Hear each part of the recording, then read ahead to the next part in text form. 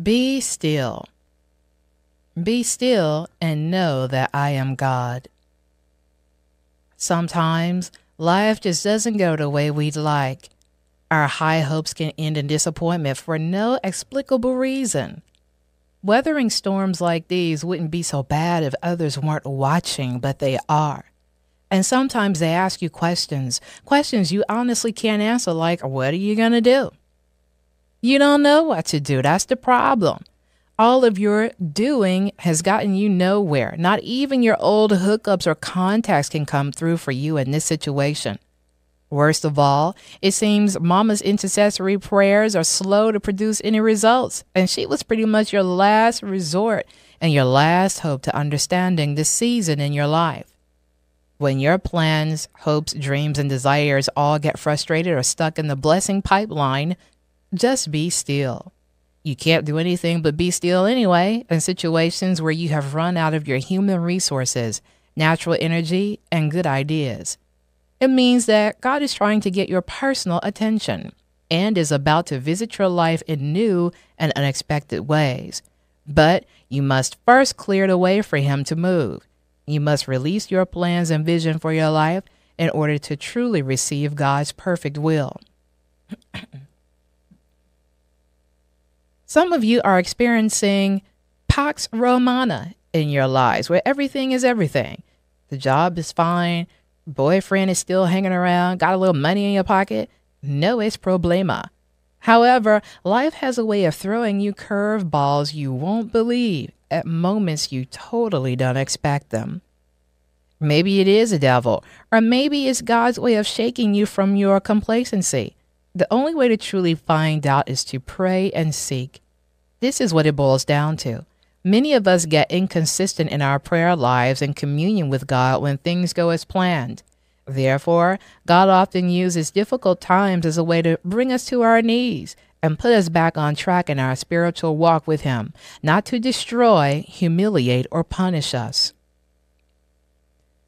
When it seems everything you've worked for is crumbling one area at a time money, relationships, sudden job loss, church position, church position or activity just be still. Don't get upset, depressed, or kick uselessly against the pricks. Just get still before the Lord and do more listening than complaining or even praying. Sometimes silent communion is the best medicine for soul sickness. Be encouraged to know that you are not crazy and that you are not alone in this process to develop patience and dependence on the Lord. Because surrendering in this way is new for us, it can also be isolating and confusing. Be encouraged by the words in Isaiah 43:18 through 19. The Lord says, Forget what happened before and do not think about the past. Look at the new thing I'm going to do. It is already happening. Don't you see it? I will make a road in the desert and rivers in the dry land. Be inspired. Faith is to believe what we do not see, and the reward of this faith is to see what we believe.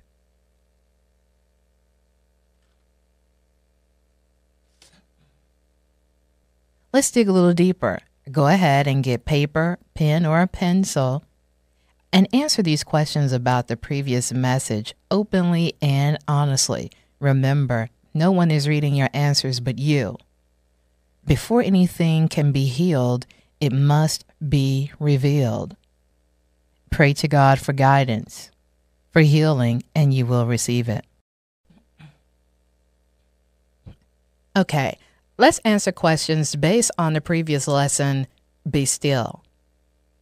Number one, why is it so difficult to surrender our problems to God instead of trying to fix them ourselves? Number two, describe the time when you were at the end of your rope about a situation, but then everything worked out fine. What did you learn after having gone through this situation? Consider this.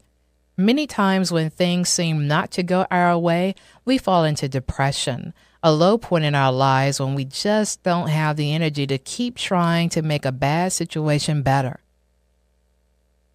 Question number three What happened during your low point? How did you feel? Number four, how did you finally get past depression to get back on track again? Number five, what personal experience can you share about what happens when you get still and allow God to work things out?